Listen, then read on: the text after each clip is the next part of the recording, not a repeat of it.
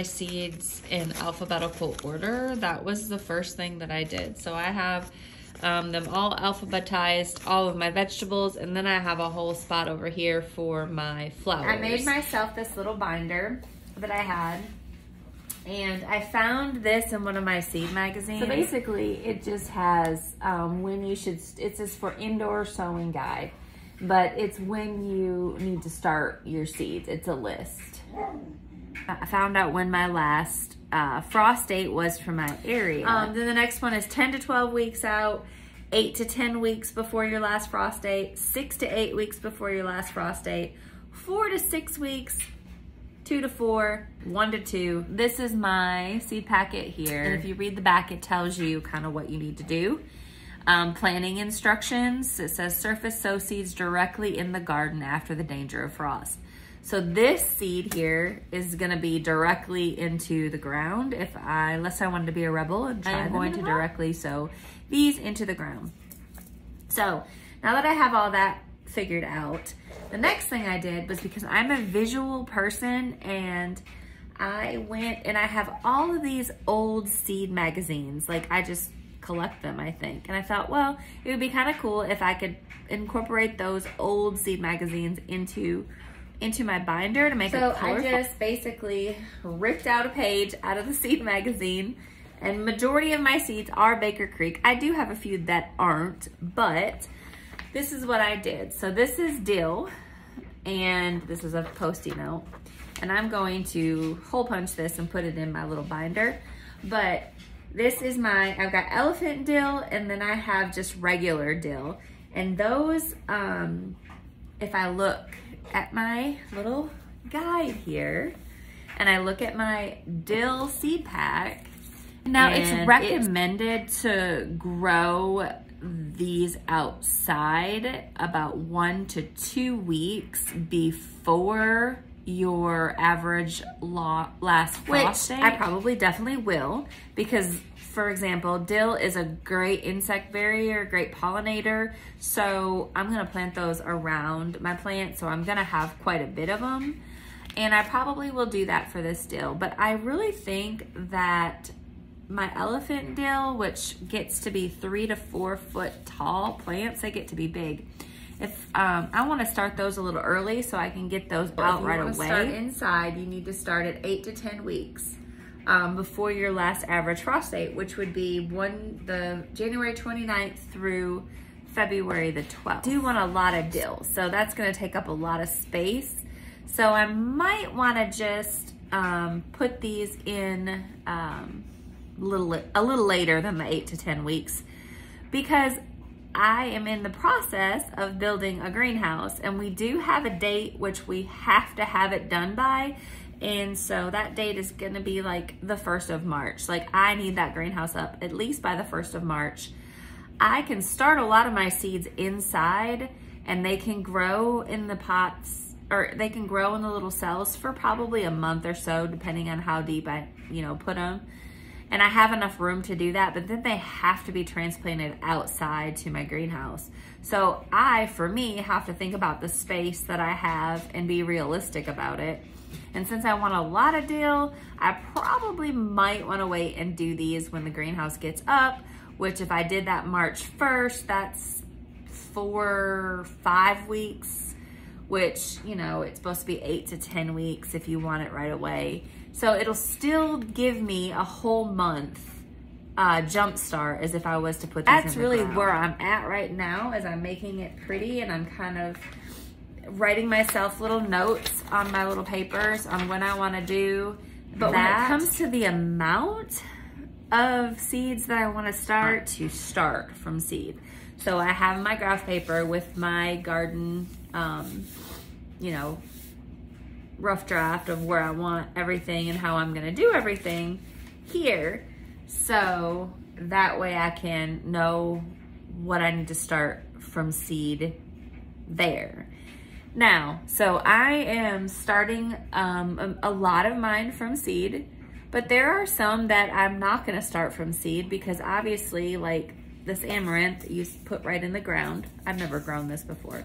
Um, but if you look, you know, okay, so I'm gonna plant these directly in the ground. Well, these have to go in after the danger of frost. So I will directly sow them after, you know, April 12th or whatever. My asparagus that I'm doing from seed, um, they can get into the ground just as soon as like I can, well, at least two weeks probably before the last frost.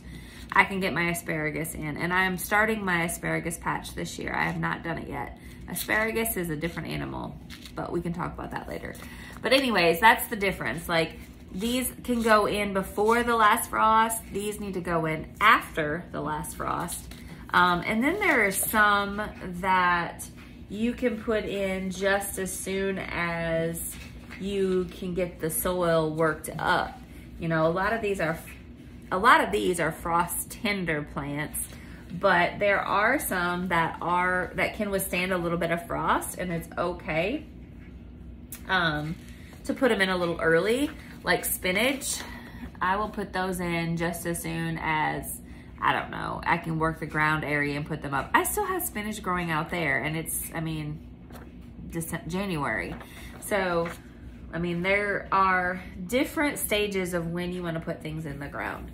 So those are the have tos. You know, I want to get my seeds started um, in my greenhouse and uh, get them a head start to get them outside.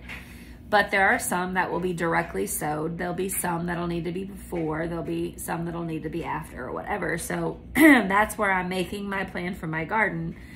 Now, there is something that I'm going to do this year that I've never really done in the past, and that is succession growing because I really want to plant a bunch of green beans where I can can a bunch, uh, pressure can a bunch of green beans. So I'm gonna do that in like a succession planting, like every seven to 14 days, I'll be planting green beans so that they can, you know, not all come in all at once or whatever. So that is my plan with my green beans. You can also do that with a lot of your herbs um, can succession sow and there are other plants that you can do um, succession growing with. And basically it is, you know, so you can get what you want and then not have them all come in all at one time is the benefit of succession growing. Also with my tomatoes, um, I am going to stagger those out. I am in an area that I can do that because we have a long growing area. So I'm going to start some a little earlier and some a little later so I don't have all my tomatoes coming in at one time. And I'm gonna be a lot more um, focused on only like a few tomato plants. I'm not gonna do a whole bunch of variety of tomato plants um, because I do have quite a bit of tomato plants, but I'm gonna focus on just doing a few and getting more from that plant instead of having a bunch and have to worry about tying a bunch of them up and all of that. That is not anything that I want to have to do this year because my focus this year is to get more um, quality fruit and not necessarily having to do every single variety that I have. Um, so yeah, those are the things that I'm going to do, and this is how I'm going to do it in my garden this year. And um, it's very, uh, it's just a lot if you think about it, but if you do it in stages, you know, like first, like I said, like the very first thing that I did was I alphabetized all my seeds. The very first thing you could do is order your seeds too and get those on the way if you don't have them and know what you're growing, have them in front of you. And then you'd want to take a rough draft of your garden or what you're doing, the area that you have to grow in and what, you know, what are you going to do? You're going to trellis them up? Are you going to have in ground? You know, that's another, um, that's the second step that I would do. You know, figure out where you're going to put it um, in your garden, what space you have, um, and what you're working with. Um, and then third, you want to go in and find your last frost date. You want to go in and check out to see, like, if you're starting from seed, how many weeks prior do you need to do it? But don't go crazy and just put a bunch of seeds in inside because you have all these small little cells and you can just throw them in there, you will eventually have to up pot those and they get bigger and you need more, you know, light. And then the windowsill is not really the ideal lighting. You need like a grow light for them to, to be successful. So don't get overzealous. Plan to make sure. Like my plan is to do a few in the house that I can handle within about a month and then taking them out to the greenhouse when we will have it built for sure by the 1st of March. That's um, our goal. So anyway, it's just a video today to show you what we are doing and how we're doing with the garden planning. I hope y'all are staying warm because it is cold here. I'm sure it's cold where y'all are at if you are in um, January and experience the cold winter. So stay warm. My dogs are barking every time I do a video. They fight. I don't know. Um, but until I post another video, y'all have a great and wonderful day. Happy gardening, happy gardening planning. Until I post another video, y'all. Bye.